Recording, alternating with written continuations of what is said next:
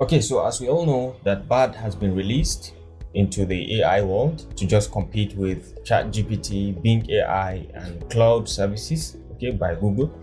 At least BARD is in to make a difference to a different kind of prompts to respond to different kind of prompts. At the moment, it is at the experimental stage and it's available in only two countries, in the United States and in the UK. So if you are not in those countries, you should have to wait for your turn to get into BARD and try it. So there's a lot going on in this very AI and I decided in this video I'm going to share with you my top 10 tips and tricks I think you should know about BARD. Okay, that are very very interesting and important. So the first thing you need to know is that BARD is not as bad as people used to think because the initial impression was that it is very bad it gives a lot of bad responses and so on. There are lots of tweets that uh, people have shared in, according to their experience uh, by while prompting Bard and how bad it has responded. But what i noticed is over time about two one or two weeks into the ai world the google continued to train Bard based on those some of some of those responses that you gave. And recently i tried to access it and give it similar prompts and i was surprised to see tremendous improvement in fact excellence in what bard can do. Because to my surprise it responded to the to those questions that it didn't respond correctly at the beginning responded to them very perfectly at this stage which means that google is still working on that bard uh, right now it's at the experimental stage, but they are doing quite a lot to improve it. So in this tutorial, we'll try to look at the some of its benefits, some of the areas that we need to pay attention to to understand BARD clearly.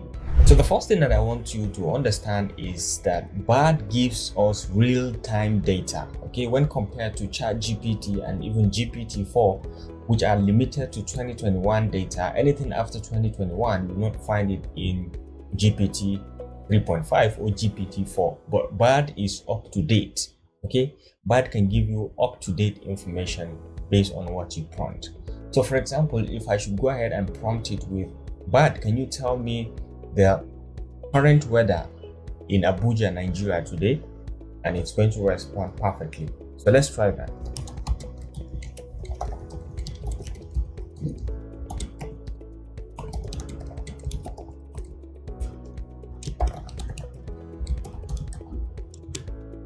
Okay, can you give me the current weather in Abuja, Nigeria today? Let's see.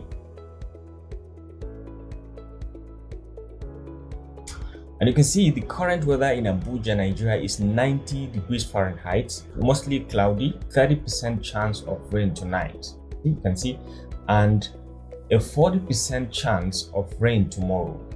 The humidity is 72% and the wind is blowing from the west southwest at 5 to 10 mph. I think this is exactly correct because I googled this this morning and it is correct. Okay, and so this is one of the key advantages that Google Bard has has over ChatGPT and even GPT-4. If you ask GPT GPT-4 this question or GPT 3.5 this question is not going to give you a correct answer. Let's give it a try and see.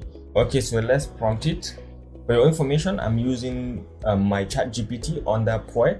Poi is a very interesting website. So if you are using GPT 3.5, you may be receiving some errors at some point. But if you are using it under Poi, all of the responses are going to be direct and perfect and straightforward and there's no any delay and it's going to give you perfect results just like the way it's going to give you on the normal uh, platform here okay it's the same thing okay only that i prefer to run it here so if you want to go ahead and give it a try, you can just go to poi.com, just create an account, it's free, and you can have access to all of these Dragonfly, ChatGPT, Claude Instant, Claude Plus, GPT-4. You can try all that from here, and it's very, very nice, and even the arrangement, you will like it. So let's go on. Uh, but can you give me the current weather in in Abuja, Nigeria? But this is not Bard. This is Chat. So delete this. Can you give me the current weather in Abuja, Nigeria? So let's see. And as you can see, it quickly say, I'm sorry, but, uh, but as an AI language model, I don't have real-time access to current weather information. Whether, however, you can easily find the current weather information in Abuja, Nigeria by doing a quick online search or checking a reliable weather web, weather website or app. So it quickly desists that it cannot give real-time data, and that is very very understandable. So this is one of the advantages that Bard has. It gives you real-time data. Okay, you can see you can see that by this evidence. But another thing I quickly went to do is I tried to compare this also response with this response also with the Bing AI and see because Bing also is a chatbot. Okay, Microsoft has just in invented their own, but this one also gives real-time data. So in Bing, you can still find the same thing. So when you want to get access to Bing, you can follow. You can also be on the waiting list, and once you get access, you can prompt it as however you want. So Bing can also give you the real-time data. Right now, I said you can come to bing.com uh, forward slash chat and it will bring you over here. You can prompt it the same way. Can you give me the weather in Abuja, Nigeria today? And you see it's going to give you, even though it takes a little bit of time. So it takes time to think a little bit, but it gives most of the information that we need. Okay. You can see this is the yeah at the moment this is it and the sky is cloudy and clear and these are even the data okay you can see even based on the timing as well as uh, previous it has forecasted the the data okay so it gives us more information than google bard but all in all we know that this one also gives but bing ai also gives real-time data now the next thing that i want to share with you as regards the capabilities or the tips on how to use bard is the fact that it is getting updated okay recently like i talked about there was a series of prompts that people gave and they shared on twitter how bad the bard responded okay so let me give you an example i just tried google bard if i were sam altman uh, I would be feeling very concerned right now. So let's say the first two months of the year are February, January, and February. What are the other months of the year? This is a prompt that this guy Tamar Golan gave it, and take a look at the response. He quickly said January, February, March, February, February, uh, January, or thereabout. And this is very, very wrong and embarrassing. So I tried to see after that time, because this one was given some about two weeks ago. So I tried to see, I prompt it with the same response and see if you can give us the, the whether it has improved or not. So let's see that particular response.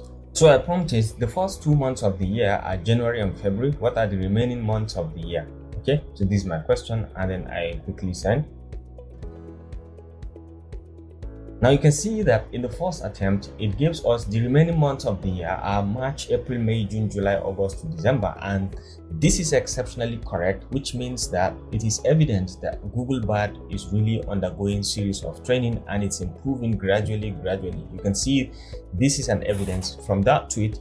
It was uh, concluded that Bard was extremely bad in terms of its responses, but take a look at how it has improved and it now get the answer correctly. So these are evidence that Bard is still uh, not as bad as people think. So there is evidence of continuous improvement in its capabilities, in its creativity, in its reasoning skills.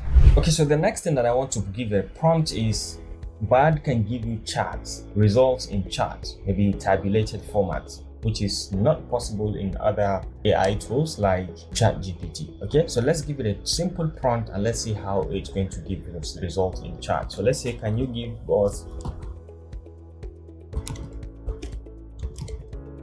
a comparison of Sony ZV-E10 and Sony ZV one. Cameras. Make it in tabular form. Tabular form. Okay so let's let's say i prompt it. Can you give me a comparison a comparison of sony zv-e10 and sony zv1 cameras? Make it in tabular form. So let's see if it's going to give us this response and you can see perfectly it gives us a chart containing the features okay containing the camera ZV-E10 and then containing the camera ZV ZV1 and all their features. You can see even in pricing, it gave us the pricing perfectly. You can see it gave us the dimensions, the weights, the heights, the, the battery, life and the continuous shooting, video quality and ISO, autofocus, resolution, and even sensor. So you can see that this is exceptionally brilliant and it gives us the whole thing perfectly. So for me and you, if you want to use this data, you can just go ahead and kickstart your screenshotting and you can just go ahead and just screenshot it and add it to your presentation. For example, if you are interested in giving a presentation about the comparison of these two cameras, ZVE1 and ZV1 and ZVE10, you can just go ahead and take a screenshot of it and you can just go ahead and paste it in your Microsoft Word or your Microsoft PowerPoint slide to make your presentation. You can see, you can just go ahead and take a screenshot and you can paste it in your Microsoft PowerPoint to, to continue with that. But when you ask ChatGPT about this one, it's not going to give you this much detail and it's in this chart format or tabulated format. But uh, other AI tools like uh, Bing AI can give you also similar results and can even give you in a better way. Okay.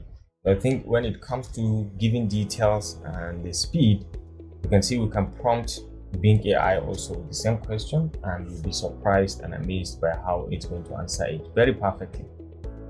All right, you can see one thing with just with Bing AI is that it's a bit a little bit slower. Okay, it's a bit slow in terms of the in terms of how it is being programmed. It's a bit slow, but it's also very very effective. As you can see, it's still writing the details. Okay, and it's picked in some of the key key features that we saw in Google Bard. Okay, so such as such autofocus, ISO range, sensor size, and even video resolution. It gives in the details. These are two AI, two different AI tools, but they picked virtually the same thing when doing the comparison. Only that I think Bard gave more details as regards these features. Okay, uh, battery life and all that. Bard gives more details as you can see Picking autofocus, ISO, video, continuous shooting, battery life, weight, dimensions, and even price. You went to give price, which is to show you how updated um, Bard is. So this is the third one. The fourth point that I'm, that I'm interested in giving you is the fact that Bard has the ability to give you multiple drafts. When it gives you a result, it's not the end of it all. It can give you multiple drafts. So when you want to see more results, you come over here you can click and you'll be able to see multiple drafts. This is draft one, this is draft two, and this is draft three. Okay, and both of them, the three of them, in most cases are different. Some cases you can find them to be the same, but in most cases they are different results. So let's give it a simple prompt and let's see if it's going to give us. And now you can see this is draft two, okay, and draft two is longer okay containing more details and even at the end you say as you can see sony zv-e10 and sony zv are both very capable cameras gives in this conclusion uh, the zv-e10 has a few advantages over the ZV1, including a larger sensor, interchangeable lenses, and five axis in body in, in body stabilization. Okay, however, ZV-E1 ZV1 is smaller and lighter, and it has a fixed lens that is optimized for vlogging.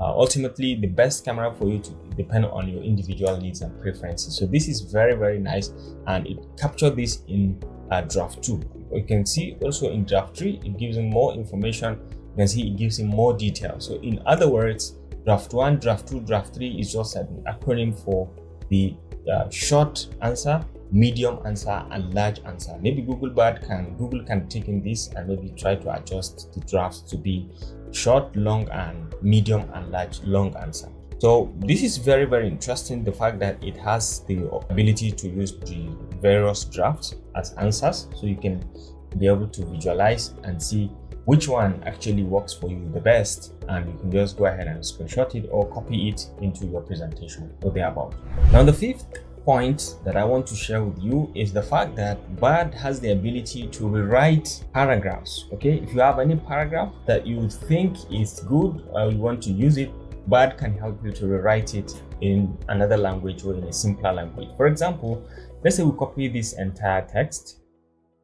Okay, we copy it and we ask Bard to rewrite this in in a summarized form, maybe even giving it more details like to use it, summarize this in 20 words, in 50 words. Okay, so we write these paragraphs in 50 words and we just paste in I'll just paste in these three paragraphs that we've copied and hit on enter and let's see what comes up from that.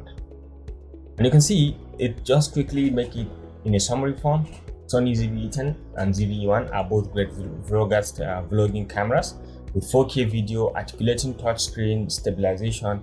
But then it quickly says ZV-E10 has a larger sensor for better image quality and low quality, uh, low light performance. But the ZV-E1 is smaller and lighter, and it just quickly compressed everything in 50 words. And you can see how perfect it just does that. that it does that, and even the timing very fast and very perfect. I think most of the other features, most of the other chatbots can do the same, but the fact that uh, Bard does it very very fast and got it correctly is a plus on Bard side. So this is a tip you should know. You can tweak it with anything and ask it to rewrite given text no matter how long it is and it's going to shorten it and give you specific answer based on how you prompt it. Okay so another thing you should know is that bard can give you answers to mathematical problems. Earlier on bard is really bad at mathematics but right now it is being updated and is being trained to answer math questions. Take a look at this very complex problem mathematical problem that mad that bard answer very very fast and he got the answer correctly a farming field can be plowed by six tractors in four days. When six tractors work together, each of them plows 120 hectares a day. If two of the tractors were moved to another field, then the remaining four tractors will plow the same field in five days. How many hectares a day will one tractor plow then? So this is quite complex and it's very very tricky, but let's see how Bard is going to answer this question. You can see how fast it quickly answered. In four days, six tractors could plow for 720 hectares. And if a tractor could plow this much, it gives us a day. So the answer is 144. And that is very, very correct. So this is this is going to show you that Bard is really good at mathematics okay and it gets improved gradually over time. So another thing you should pay attention to is bard can correct grammar and spelling mistake in any kind of write-up or text that you prompted with. If you have an issue with your write-up or you've written your document or your paper and you want Bard to cross-check and check the grammar and spelling mistakes, you can easily prompt it and it's going to give you that answer. It has that capability. So take a look at this example. In this example, say Bard will integrate, will be integrate. I made this mistake intentionally, will be integrated. It's supposed to be will be integrated. I make it will be will, will be integrate with Google Chrome to process complex information. Take a look at the information. This is very wrong I replace T with S and with this this is a second mistake and then I put in a full stop here quickly. So you can quickly understand I put a full stop here this is a mistake and then I put another full stop here this is also another mistake. So let's see if Bard can help us to correct this sentence this very sentence within it once we prompt it. So I asked it can you rewrite this text correcting the grammar okay so i put the text in columns okay? Bard will be will be integrated with google chrome to process complex information and multiple perfect uh, perspectives into easy to digest formats. So you can quickly you can see the mistakes i have as i have explained but then let's see whether Bard can really rewrite and correct the grammar here you can see it said sure here is the corrected text. Okay Bard will be integrated. You see now it picked in and it gives us integrated which is correct. And into uh, this complex information and you can see the information is also spelled correctly. And you can see it has removed that full stop that we have and now our sentence is correct. I have made the following changes. So it has even went on to tell you that i have made the following changes. I have changed the integrate to integrated I have added a comma after the complex information and separate the two independent clauses. I've added a period after formats to end the sentences and I have capitalized Bard, I have capitalized Google, and I have capitalized Chrome because it's a proper noun. Okay, these are proper noun and I've added a period after web to end the sentences. I hope this is helpful. So this is exceptionally helpful because you could see that the sentence on its own has been rewritten. Okay, the next thing you should know is that Bard incorporated the Google It feature after at the end of all of its prompts. When you ask Bard a question, it gives you the response and then at the end of it you have this google it feature at the end of every response which means if you're not certain and comfortable with what you have as a prompt or as an answer to your prompt, you can easily link this and Google it somewhere else and have your answer answered. You can link it up to the Google platform and go ahead and open pages and see and cross-check to confirm your answers. Okay, so for example, if I ask you to give me what is a noun and it prompted this answer to me, that this is a noun and you have the google it feature down here. If i'm not comfortable with the answer it gave me even citing some of the examples that i may be i may need to understand what a noun is if i'm not comfortable with this i can always come down here and use the google it feature and click to uh, search for it okay? You can see you can now search for you can now search for it it, it, once you click you can just it will pop up and take you to the google platform and you will see the results of what you are looking for. So this is a very good feature and you can see now you'll be linked to google platform and now you can do most of your search and everything from here. So this is a very good feature. I think google bard has incorporated to at least increase the level of trust that people has as regards what it gave them and to be able to have an alternative to what you see as a result of the prompt and to verify your facts by going beyond the Bard to open up pages and see how you can verify your results. So this is a very fantastic feature. Anytime you make a prompt and you're not certain you're comfortable, you can just Google it to find out more information or to cross-check and verify what Bard has given you. So the last tip for today is I noticed that Bard give responses, sometimes subjective responses and refuse to mislead people and even give an open-ended answer. So take a look at this prompt. I, I ask it this question and take a look at the kind of answer it gave me. What is the most important moment in American history? This is an open-ended question, so let's see how Bard is going to respond to this.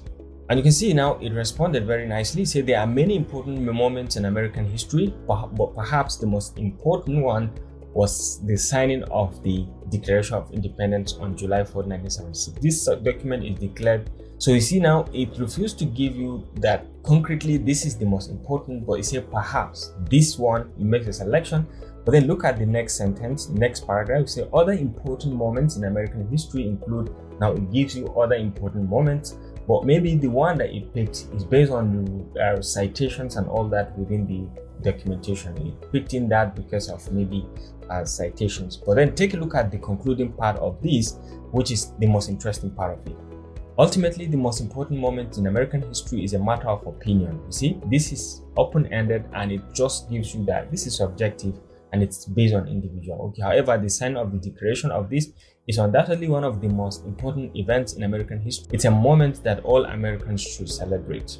Okay, so I think I like this answer and it shows that Bard is being very, very careful in its responses not to give a tight or very objective answer to subjective questions. So I think these are my top 10 tips and tricks that you should know about Bard and when interacting with it so you can have a better understanding and better results when next to interact with Bard. Take note that this Bard is it can display accurate inaccurate information at the moment it is at the research stage and is available in only English language and is available in only two countries and is still undergoing series of trainings to be better to become a better chatbot.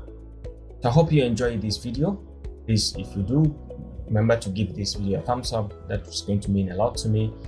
And try to hit the subscribe and notification buttons to stay connected to this channel for more and more videos like this.